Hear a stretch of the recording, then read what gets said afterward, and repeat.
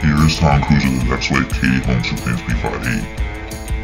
Here is Tom Cruise with this guy in the glasses Connor Cruise who's listed at 5'7".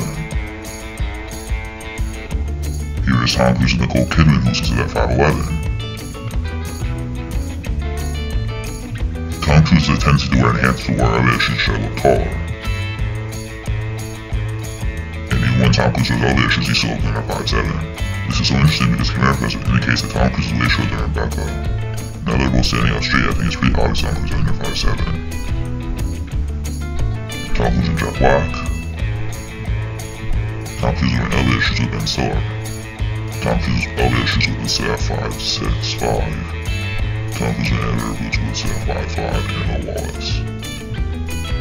Tom Cruise and Heather Boots with set 5, 5, and Emma Wallace. Tom Cruise uh, 6, 6, uh, Henry with set 5, 5, Rebecca. 5, 8, James Corden. Tom Cruise with set 5, 11, Alec Baldwin. Tom Cruise and his mom Mary Lee Pfeiffer 5, 0. Tom Cruise is my Mary Lee Pfeiffer.